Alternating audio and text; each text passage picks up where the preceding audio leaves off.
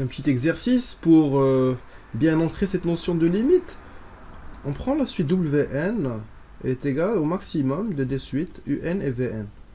Donc si je suppose que les suites Un et Vn sont convergentes, avec respectivement comme limite L et L', je veux que vous me calculiez la limite de Wn lorsque n tend vers plus l'infini. Donc, en utilisant la définition que l'on a montrée sur cette vidéo. Donc, premier, cas. Donc, on va distinguer deux cas. Premier cas, L est égal à L'. Donc, en adoptant la définition de la limite, donc, quel que soit epsilon strictement supérieur à 0, etc. Ok, je vais vous dire soit epsilon strictement supérieur à 0, alors, il existe n0 appartenant à n, quel que soit n supérieur à n0, un est suffisamment proche de L d'une distance inférieure strictement de epsilon. Ce qu'on a dit. La même chose pour la suite Vn. Donc je vais appeler N1. Quel que soit n supérieur ou égal à N1, Vn moins L est strictement inférieur à epsilon, puisque L est égal à L'.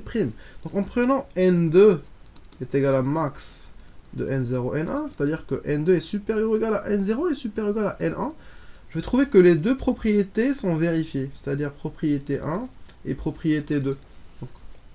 Et donc, je vais dire que, quel que soit n supérieur ou égal à n2, un moins l est strictement inférieur à epsilon, et vn moins l est strictement inférieur à epsilon.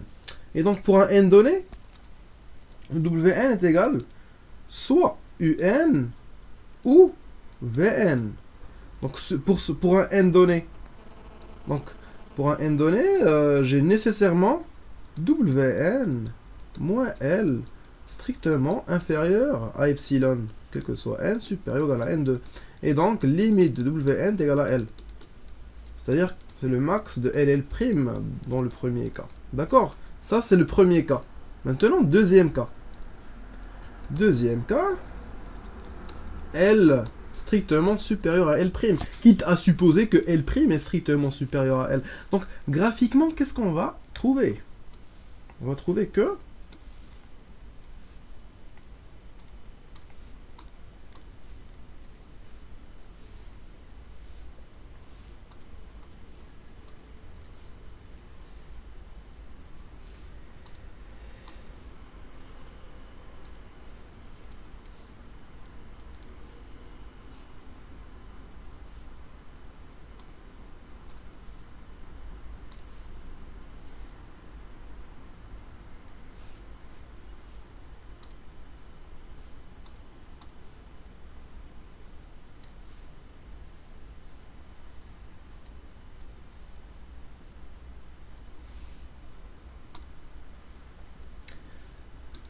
Donc, à partir d'un certain rang, on va trouver que les UN, que UN va se trouver dans, une bande comme la bande suivante, puisque UN tend vers L.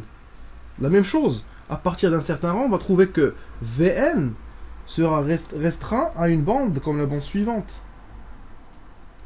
Comme la bande suivante. Puisque Vn tend vers L'. Et donc, à partir d'un certain rang, on va trouver que UN est supérieur ou égal à Vn. Et donc, à partir d'un certain rang, Wn sera égal à Un. Et puisque comme Un tend vers L, alors Wn va tendre vers L, qui est le max de LL'. Donc c'est ce qu'on va essayer de montrer grâce aux formules mathématiques cette fois. Donc, euh, on va dire, on va, on va essayer de comparer Un moins Wn. Un moins Vn, pardon. Donc c'est égal à Un moins L, plus L, L moins L', plus L' moins Vn. D'accord? Et Un moins L, donc à partir d'un certain rang, on saura que c'est supérieur strictement à moins epsilon. D'accord Puisque la valeur absolue de un moins L sera strictement inférieure à epsilon. Autrement dit, un moins L supérieur à moins epsilon, inférieur à epsilon. D'accord On va garder L moins L' ici. La même chose. À partir d'un certain rang, L' moins epsilon sera strictement supérieur à moins epsilon.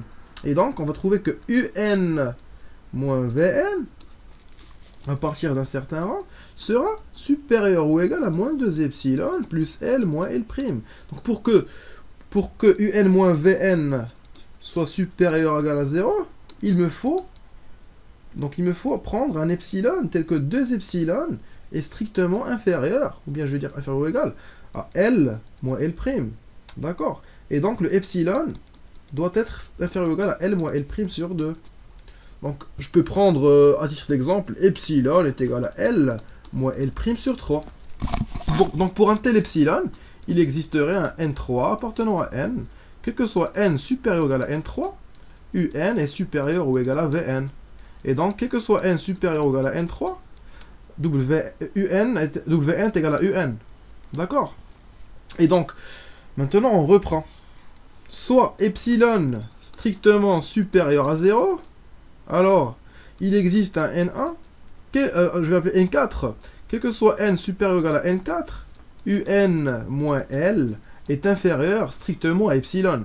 Or, on sait que, quel que soit n supérieur ou égal à n3, comme on vient de le voir en bas, wn est égal à un.